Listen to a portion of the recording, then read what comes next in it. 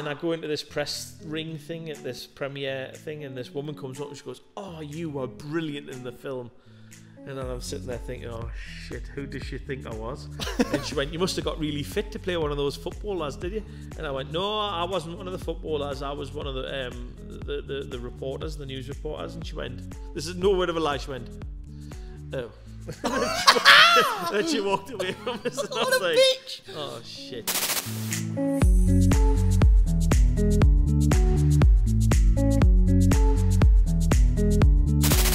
Hi, it's Jonny from Isaac, and we are back in the treehouse for another episode of Isaac Chats. And today, guys, we are joined by one of my great friends and actor, Charlie Richmond. Hello, how are you? I'm not bad, how are you? I'm alright. I just thought I'd say hello down there. Hello. Charlie Richmond, thank you so much for coming down. My pleasure. It's absolutely lovely to have you here in the um, treehouse. Yes, it's new, but I can see its potential. Yeah, absolutely. Fantastic. mate. Everybody said the same thing. I can see the potential. yeah, yeah. No, but I like it. It's it's what we call up in the northeast industrial chic.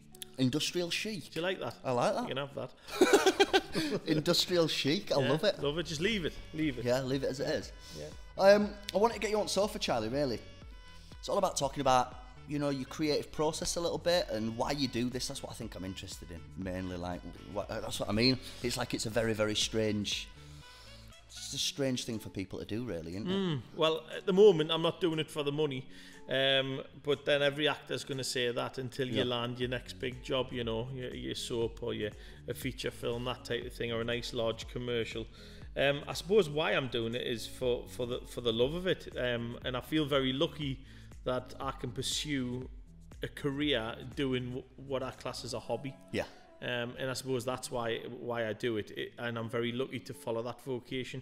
Um, but yeah, it's it's the hardest part is, is the survival, is, Yeah. is paying the mortgage every month, paying your bills. So I suppose you got to have some sort of fallback plan, you know, Yeah. or, or another string to your bow where you can make some money. what other string balls? Have, what other strings to your bow have you got? Well, um, recently I've just launched my own new production company, Yes. and I've just produced a play up in the northeast, and then we took it down to Ipswich, a play called Bobby Robson Saved My Life. As it turns out, the play didn't make any money, um, and I've been working on it a long time. But that was that was an experience where it, it's going to get better. Yeah. The production company's going to get better. Before that, I DJ'd for many, many years. Um, nightclubs all over, all over the country, all over the. Um, I went to um, Mallorca for a couple of years and DJ'd in Magaluf. Um, so I've always had other strings to the bow that I could fall back on. But I've done everything, and I think that that's the important thing. You, you can't be too proud. I've done everything from working on scrap vans and rubbish vans, working for people on a day rate, to um, to working for finance companies and things like that. So I've done all sorts of stuff to, to try and make a, a little bit of bread and butter. And in between that, I've um, I've managed to sort of keep my 20 year career going. You Yeah. know. That's it. It's a funny thing, isn't it? Like when we're when we kind of like um, from the outside looking in on this profession, it's that whole thing of like when people are going to classes and all that. Like they'll straight look at choreo or whatever and just be like, I want to do that. Right. And it's often kind of like it's taken away the whole working, jobbing actor kind of Well, thing. I've still got my mum that'll say to me, "Oh, you'd be great in that, son. You'd be oh, get yourself into Emmerdale, get yourself into Corrie."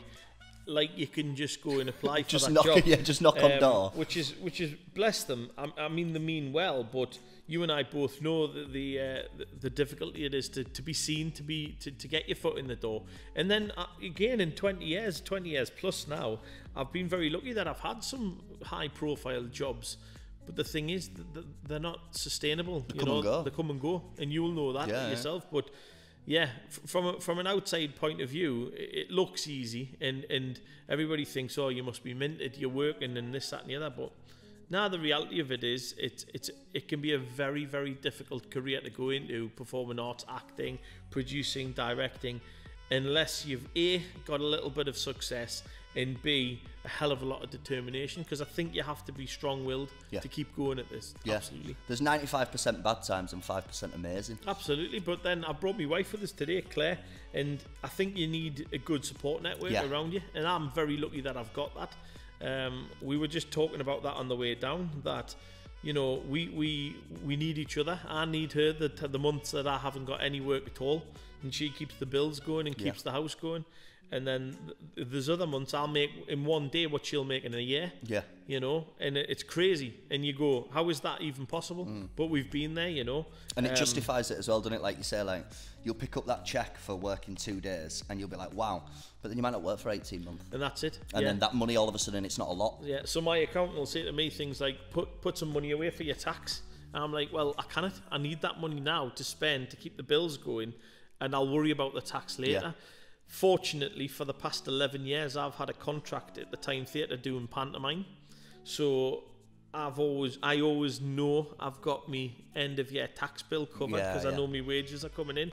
If I didn't have that, I think things I think things would be very different. I think I would be actually considering chucking it in because it's just too difficult Yeah, to survive. it is. It I is. think it's so honesty to say it is. Like, I mean, I still struggle today. Like, well, struggle. Mm-hmm. Like, do you know what I mean? Like, month to month, it's like all these bills are coming in. And you're thinking, I love what I do, but shit, something's got to give. The hardest part is seeing all your mates that you're in and around, and then they pop up in the next thing. So, a pal of mine, Davey Nellis, um, lovely, lovely lad, and, and we worked together late 2017, and um, he was struggling. He'd just come off a couple of plays, and he's just landed a lovely role in a TV series, new detective drama on ITV. And that's you know it's that age old thing. It pulls them right back out Yeah. of it again, and um, and, and I think that that's that's the nature of the business. You need to be in it to win it, and if you're not in it, then you know you, you're going to struggle. You, you really are going to struggle. But you know, I still go for auditions. I'm I'm up and down to London a few few times, sometimes often twice and three times a month. Uh, up and down to Manchester for castings and stuff. But yeah, you, you've got to put your face out there. But then, you know, I've had some frustrating things this year. I've been pencil heavily penciled for jo- that's the wor- worst. Natalie words. Gavin's just been here, and she was saying like, "What the fuck does that even mean?" What does it? A heavy pencil to me used to mean you've pretty much got this. Yeah, well, basically we're just we're just figuring waiting out on the the, client logistics. going. Yes, it's the logistics. He's heavily pen. You know, you get a light pencil, put his name down, he's in the running. A heavy pencil was you've got this job. So I went for a commercial for Subway, and uh, I was a heavy pencil, and they cancelled me like literally two days before the job, off. and let me let me off the let me off the um, pencil. No, that was two, I was on that pencil for two weeks. That's two weeks my agent had stopped sending me for jobs Yeah, you know, in case it comes off. And it, you know, but that's this is the thing they never teach the kids at college either about rejection. yeah. How you pick yourself up. How many times have, have I had the knockback? And I've had jobs in front of me. I had a job once, right? It was a feature film. It was called In for a Penny. Warner Brothers were producing it. Nine million pound film. I was cast alongside Chris Connell, who you met yet Yeah. a long time ago, um, Nick Moran, um, uh, Sid Owen from EastEnders, and um, Jimmy Fury from uh, East is East. There was five who were casting it. It was going to be shooting here in the UK, and you it was in the northeast, and then across to Vegas Wow. right? I was with Sam Claypole at the time, it was a long, long time ago. She's come up, we've popped the champagne, we've started celebrating. This is a 30, 40 grand job 20 year ago nearly now. And you're thinking, oh, this is it, I've made it, this is my big break. And then eh, the the shoot date got put back, and they were like, "Don't worry, it's going to be we're going to shoot before December." Then it got to December. Oh, the director can't shoot over the Christmas. It'll go to the turn of the year. Got to the turn of the year, money's been pulled out the job, and you think yourself, "Oh no, that's it, gone." And that massive carrot cake that was dangled in front of you, I'd spent that 30, 40 grand five times over in my head. yeah, that's what you do, though. But nobody teaches you how to pull yourself back from Yeah. the from from the rejection. Yeah. We were talking about um, the other week. We had somebody in uh, Yasmin Tahiri who's just graduated from RADA, Oh, nice. and it took her five years of auditioning Yeah. to get there. Yeah. And we were saying that that process almost taught her as a byproduct of rejection. There you go. I mean, my wife that I brought today, Claire, she trained as an actress, exactly the same time as me, musical theatre. Um, got tired of the door getting shut in her face, and um, is now a lawyer. Yeah. So the the top and bottom of it is some people stick it out, and I've I've I've only been able to stick it out a because I had a DJ company and I had um, various venues across the country that allowed me to have spare money. So once I had once my income was sorted, I was able to then keep chasing the dream. And then also through the success of picking up one or two high profile jobs across the years, that keeps you going as well. Um, but yeah, my business partner Steve, his daughter's gone off to um, MTA, and it's costing him nigh on a hundred grand to put her through a two-year course in London. That's the fees and the accommodation and all that type of thing. And there's no guarantees. There's no guarantee she's going to walk out of that drama school and walk into work. Yeah. Um, but you know, they sat down with me late, like early last year, and, and asked me for my advice. They were going. to She was going to go to like Gateshead College mm. and do performing arts, and I just sort of said, "Well, why are you doing that?" Because in my opinion, I didn't train in London. I trained in the northeast. I went to a local college, then to university. But I believe that if you come out of a top drama school in London, you're at least a couple of rungs up the ladder higher than somebody walking out of a college.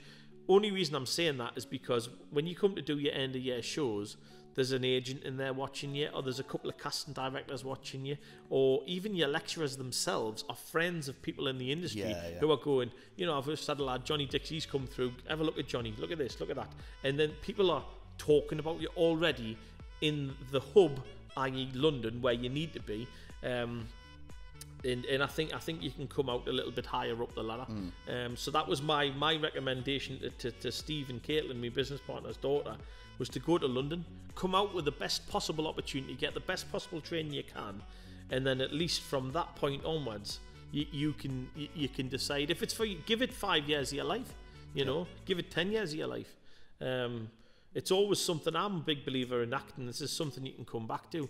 I've gone through sort of different periods of my life where I've been ideal for the boy next door, then I play the brother roles. Now the hair, I've got these arctic blonde highlights. You probably can't tell under these subtle lights um, that I'm going grey now. So I'm now playing dad character. It's great, but I'm reading breakdowns that are saying 40 to 50 years old. I'm only 38, but I'm looking thinking. Fair enough, I'll play a dad. Yeah, You know what I mean? And that's a good thing because that means your career's got a new life. It's got yeah, a new absolutely. Um, yeah, you've got a new tint to what you do. more opportunity. So yeah, it's something that these kids can go to drama school, pack it in for 20 years, and go back to. You know, Yeah. they've got the skill. And also, let's not let's not beat around the bush. Performing arts gives you life skills. Yes. It gives you the ability to walk into a room and adapt as part of a team, be working as, as part of a team, communicate effectively, listen effectively. If you can't do any of them things, I'd get out of drama or, uh, or performing arts anyway because you need to be the you need to be yeah, working as part of an ensemble. You need to be able to take direction. They're the, the absolute basics, you Mm. know. So it's good skills to have, but definitely, I, I, you know, I don't want to make this um, sort of morbidly. You need a fallback plan, but it would be wise, even if that was if you can play music and you can busk a few gigs at the weekend. If you're a photographer, you can take a few headshots, that type of thing. You need something Yeah. to fall back on. Absolutely, absolutely. Right, left, right, left, right, left, right, left, right, left. Forward,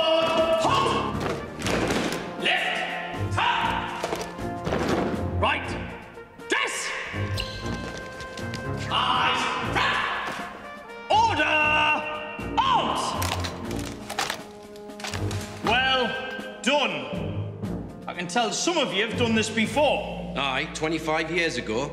It's bloody boring then and now. Well, some of it was almost average.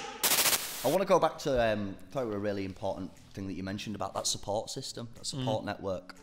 I think, especially for people who are just getting into this, I think parents is a strong role. Are your parents really supportive in what you do? Absolutely. I mean, I lost my dad when I was 18 year old, but up until that point, he just loved the fact that I was performing.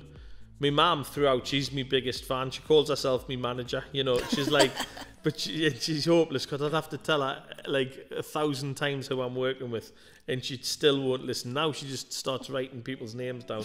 Um, Claire and, and my mum were at a, um, we had her at a VIP premiere of the play that I was at um, that I performed in recently, and the, we had invited some celebrities down, some footballers and stuff, and uh, like the news anchors from the local ITV and BBC News and that were there. And my mum's sitting not this far away from them, going, "Eh, that's that bloke off the news." I'm thinking, "Oh my God, mum, what are you doing?" Um, mortifying, but yeah, they've always been a big support, and I think that's important. You know, um, whether it's your your your, um, your boyfriend, your girlfriend, your fiance, your wife, your your parents, to to keep you going, you know, and to keep keep your chin up when the knockbacks happen, and Because it's easy to feel sorry for yourself Oh, like, dead do you know what I mean? It's so easy to, especially, especially when you get these little dangling carrots, pencils, heavy pencils, recalls. You're you're investing sometimes 150 quid to get down to a meeting that you're in there for 10 minutes. Already, the weight is on you that shouldn't be for an interview. I don't know about you though. Kids today want instant fame. Yeah. And and this is partly to do with reality TV shows and reality talent competitions. And I'm, I'm I've never been a big fan of them. And I, but I don't want to knock them at the same time. But you, you like see your X Factors and your Britain's Got Talent and all these type of things. They give you instant stardom. But that that's five minutes of fame, and then when that's over with, what happens next? How do you keep riding that wave? This is why you've got to train. You've got to hone your skills.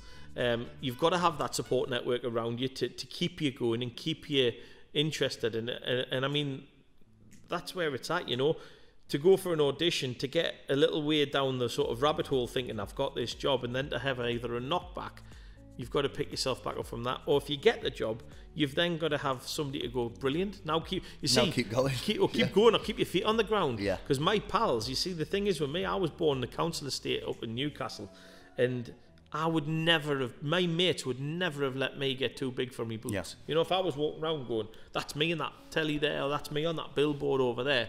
My mates would Pull you right you back right down. back down again. Say, "Ah, mate, wind your neck in, will you?" Do you know what I mean? and the, I mean, I did it. I, I- I was in a musical last year, and I remember the BBC came in, and they they, they recorded me um, doing some of the scenes, and Sting was there, and this, that, and the other. And now I had an old pair of Adidas tracksuit bottoms on that I've had for donkey's years, but I'm in a rehearsal studio, not too dissimilar to this. It was probably a little bit dirtier than this actually, um, and. Um, there I am in these Adidas tracksuit bottoms. So my mates don't text me and go, "Oh mate, congratulations! I saw you on the news last night. That's brilliant news." What my mates do is go, "You still wearing them tracksuit bottoms, you scruffy tramp? you not bought yourself another pair of tracksuit bottoms yet?" And I'm thinking, "Thanks, lads." Yeah. But it's it's people like that that I think you need around you. They be they form part of your support network Yeah, and keep you grounded. You Yeah. know. They're all a product of your product to yourself, aren't you? You're a product to your environment, like Exactly. you say. If you're around people that are going to put you on a pedestal, you put yourself on that pedestal. if you start believing in your own hype, I did pantomime with somebody that I, I will remain nameless, but she knows who she is. She's had five minutes worth of fame, and um, it's gone to her head.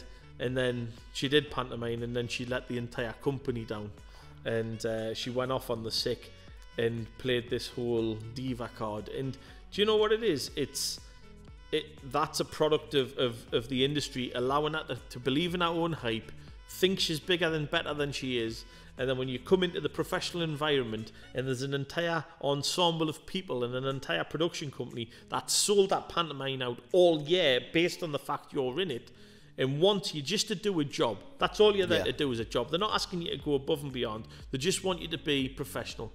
And they can't do that this is why that five minutes of fame doesn't wash Yeah, with me. absolutely, So I yeah. went back to the producers of our pantomime and I just said, do me a favour, get me 50 local lasses, get me any musical theatre lass that's ever worked in the West End and done eight shows a week because they've stood the test of time. Yeah. They know what, what's expected of them and they're not going to let you down. Mm. Um, and therefore, the, the, the production will it'll keep going because I, I, I really haven't got the time of day for people that aren't professional because that's the thing you can train in this industry but there's there's there's a respect in the industry respecting the job respecting your fellow players you know you cannot have an ego No. you cannot ha- you cannot have attitude problems and all this type of thing it just doesn't wash you you might work there and then in that job I would never work with you again Yeah, You yeah. and, and, yeah. and And, that job's over like that.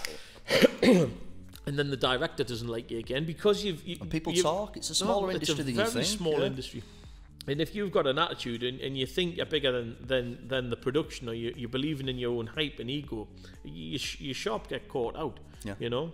And that's why a lot of these celebrities excuse me a lot of these celebrities that I've met and worked with now their egos once you get a few celebrities in a room their egos kind of cancel each other out.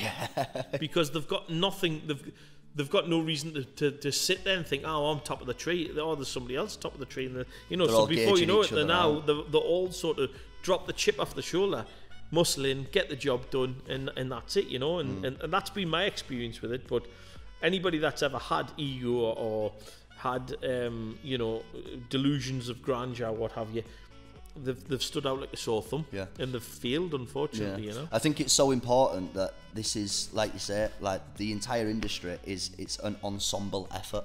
Like TV or theatre, it's that whole thing that it doesn't matter how fucking good you are.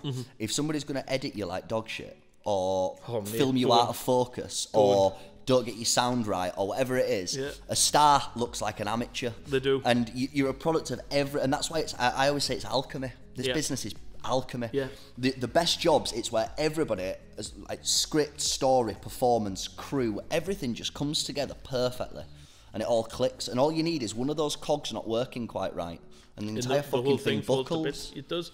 And you're dead right. And I've made the cutting room floor. I remember going to a premiere once, again, many, many years ago. And I'd, I'd shot um, a film called Goal. There was three of them, Goal 1, 2 remember, and 3. yeah, yeah. I was in Goal 2. And I played a news reporter. And I shot, I had two days on this film, but several scenes, plenty of dialogue, lots of interviews at the football match afterwards with the players and the manager. Couple of interviews outside the ground, couple of interviews down at, at an airport as, as one of the players was arriving back. Went to this premiere, red carpet, the whole shebang. On comes the scene, and it was on and off like that.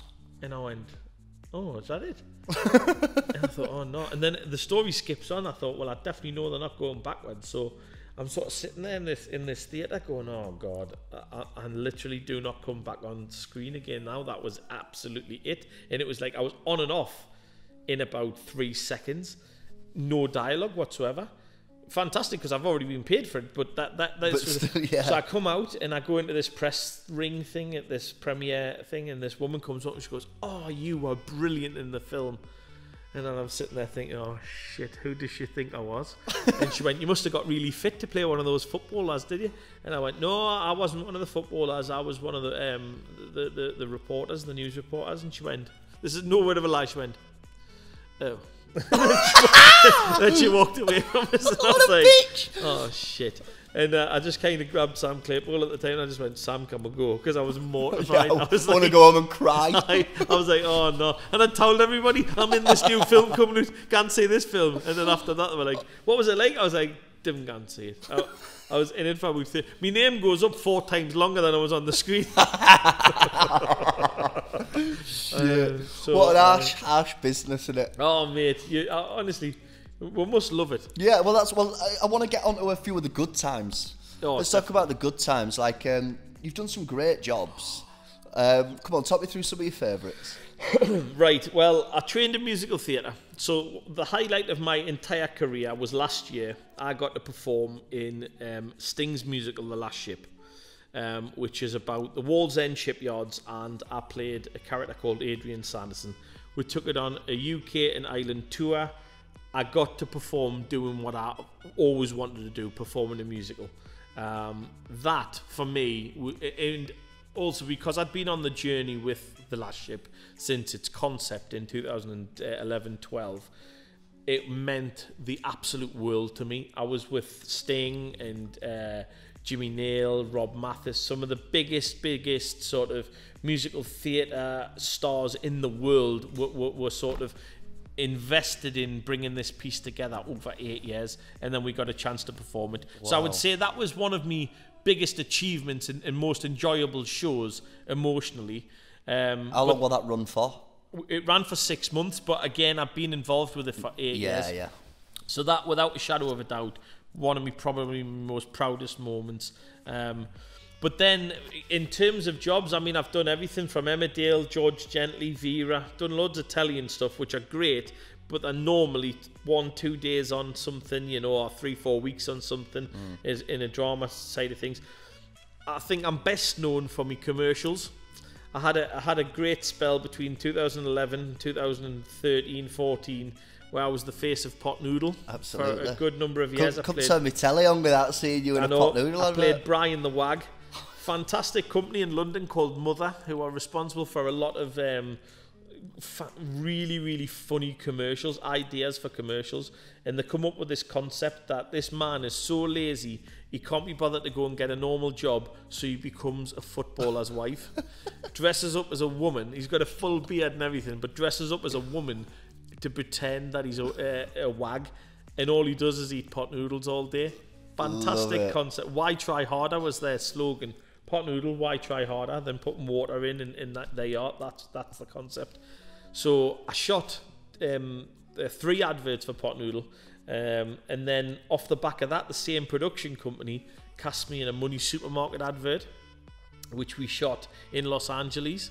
Um, and again, just just experiences like put me up in a suite at the uh, at the Viceroy at Santa Monica and flying me first class to Los Angeles. I mean, Hello. as a council lad from from Tyneside, you know, I- I've seen people go on the plane and turn left. It, it had never been me before. I was always turn right and keep going to the back. Ever since I was little, I've always dreamed of living an easy life. So, I married a footballer. Been a wag for two years now. I'm a real lady of leisure. My day starts with a swim, maybe a spray tan. I do a bit of aerobics, blow dry. I have a nice long soak. I doll myself up. Then I'll invite the girls round. Life's a doddle. I'm I'm quite lucky. I haven't had to do all sort of acting roles, so to speak. I do a lot of drama-based training. So I, I- was very lucky about 10, 12 years ago to get a job for a company called Juice. And um, what Juice did is they they use um, they use drama to teach health and safety. So um, we would, I, I- I'll never forget my first job. You, so you, you're given a mountain of information about oil and gas, about all these rigs, and this is what happens, and this is the processes and that. And then we, they created a piece of drama around a lifting operation. So it's a big crane on an oil rig, and they're bringing over some pipes, and it, it, there's a there's a point of impact where there's an accident about to happen, and then they would stop the drama there, and then they'd hand the control back over to the room and get the, the guys in the room who are the real experts who work on the platforms to prevent this accident from happening. It's that interactive experience. So it's that interactive drama, yeah. Yeah. So 12 years ago, I got my first um, little little taste of that. Since then, I've got a mount. I've got all my offshore tickets, all my survival tickets. So I fly on the helicopters and all that type of thing. I've been offshore and done one-on-one coaching. I've got mountains and mountains of information in my head. I've worked with the fire brigade. I've worked with uh, trainee lawyers. I've worked with the police force. I've worked with all these different areas of, of, of, of, the world, basically, uh, of, of different different industries, different um, cultures, where I've learned a little bit of a, about everything, really, and that's all sort of added to things I know. But uh, you know, uh, again, it's it, it all boils back down to being a drama job. yeah, you know, the what I mean? driving force has been performance. It's always that. been performance. But fascinatingly, where they where normally a, a business, a bank or something like that would do a death by PowerPoint presentation, we would go in with a team of actors and we would bring that presentation to life so that the people in the room go, bloody hell, I I, I didn't realise that because the thing is, there's a, you know Derren Brown, don't you? So he works on brain psychology. And the human brain can only process seven plus or minus two pieces of information at any one time. Uh, anything more than it's like that old that old um, game show, you know, where the conveyor belt's going along. Yeah, oh, you- what was that what called? that That's going to annoy me. Wi- Um, to- a cuddly, Cuddly toy. You know, a toilet generation game. Generation game. Boom. So exactly like that, as that's going along, you're remembering them, but you might get to like seven, eight pieces of information. You've remembered the first eight items, and then the next one comes out, and as you're looking at it, you, they don't drop off in that order, but you might have just deleted one, Yeah. a pen, or something along the way. Um, and, and it's the same for the human brain. So when these banks and these corporations and these oil and gas companies are doing training with people and they're putting up these pre- PowerPoint presentations, it's got lovely colours, pictures, graphs on, statistics, how well we're doing, how well we're underachieving, all these type of things. They've bamboozled everybody within five minutes, you see, and now everybody's sitting there going, Just numb with I've got, information. I've got another four hours of this course to do, and I'm numb. I'm done. This is where the drama-based training comes in. So we come in and we reenact a little scene for you, or we play a few games with you, exactly like you would in a drama game. You know, pass the ball around, don't let the ball Yeah, drop, yeah, all yeah. these type of things. However, each one of them has a learning outcome that you can apply back to something. And and so through the drama-based training, I've had a lot of fun, a lot of experience with that. Um, that sort of gives us a, a little bit of a fallback, bread and butter wise as well. That's been quite good. Um, It's but I- amazing how much you can apply performance to, isn't it? Oh, absolutely. In in any industry, it's kind of like, like you say, especially in a training aspect. But I've are had- just I've had people coming to me that that are that, that are saying to us, "Oh, you know, I've got a conference next week, and I've got to stand up and I've got to do a speech or a best man speech. I can't tell you how many best men speeches I've helped other people write. Um, Word I learnt for it. It's called glossophobia. well, Glossophobia is a fear of public speaking. There you go. And over 40% of the nation uh, suffer, suffer from it. Yet we do it on a day and take it for granted. Yeah. And that's the thing. I mean, I, I, I can't, I can't instill confidence in somebody, but I can give them the tools that they need Yeah. to To- have that confidence Yeah. or to draw upon what they need to do and how to stay focused. Charlie, you've been amazing. Mate, it's a pleasure. Been a lovely, lovely Anytime. conversation. I think, again, this is all about kind of being honest, talking about the rough, the smooth, and kind of like just painting it for what it is, I think. Mate, we know, and anybody else out there knows, if you can do this as a career, if you love to perform, if you love to sing, play music, act, television, direct, edit, paint pictures, whatever your artistic uh, direction is, I say do it. Follow your dreams, chase those dreams, have aspirations, have confidence, go for it give yourself the best opportunity in life by having something to fall back on another talent another job accountancy something to, to so that it, it'll allow you to um, keep going in the way you want to go. Um, pick yourself up when when, you, when you're on rock bottom. Have confidence to bounce back. Use your network around you, use the people around you. Like keep your support network yeah. together. Love your family and friends. Stay grounded when you have the success. Stay grounded. Remember where you come from. Remember your roots. And seek advice you know. There's plenty of other people out there has been and done it speak to your accountant speak to your friends speak to your tutors speak to whoever. You know if you ever needed advice never ever go down that that that route of you think you know best because you're still learning now. Like you were just saying. I don't think the it's a single yeah, day where there's not I, a day that I you don't, learn yeah. something new. Whether that's a corporate job, whether it's an acting job, whether I'm on TV, you know, they're constantly changing camera lenses, different things. I just did a film last year with uh, Ken Loach. I saw this. So I saw it last night. it's coming out. It's coming out. Um, it'll be at the cinemas this year. It done really, really well at Cannes Film? Festival. It's called Sorry We Missed You. That's the one. And again, Ken Loach is unique. So on a set, you and I would know this. They normally control the sound. They want everything quiet so they can so they can get the dialogue in clean, and then they can put other noises in behind in post. Not Ken. He didn't like to rehearse, so we didn't have a script. Nobody had a full script in advance. You were sent your sides the night before. He wants everything raw. He wants everything improvised and, and feeling as natural as it possibly can be um, which is terrifying to an actor. So I learned working with Ken Loach this year that to be sometimes you can be over prepared for stuff. You can overthink something.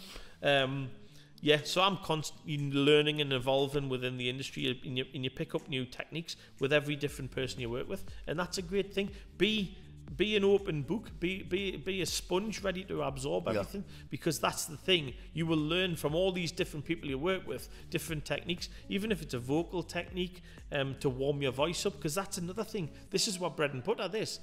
That is as well. That's going to get you the job. yeah. But you don't always have to be beautiful. Yeah. You know, I get cast in the. I read these castings. Must be chubby. Must be the guy next door. You know what I mean? So that's my type of job. Yeah, yeah. Now it's forty to fifty with grey hair. You know what I mean? These are the jobs I'm getting sent for. Um, but again, things like you know, looking after yourself, staying healthy. You know, keeping keeping water going in, resting your voice, making sure you warm your voice up, cool it down, things like that. These are all techniques that throughout throughout time I've sort of picked up that I think if I'm in a show or a play for any length of time, I need to look after myself, you know, so that you stay fit enough to co- to complete the project. Mm. Otherwise, you start letting people down. Yeah.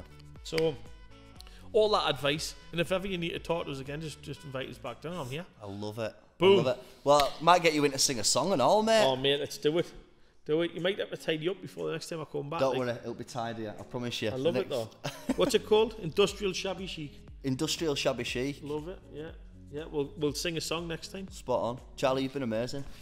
Jonny boy. Much Always love. pleasure. And that's about it for another episode of Isaac Chats. If you want to check out more episodes like this, just head over to www.isaacwho.com. But from me and Charlie, bye bye. Bye.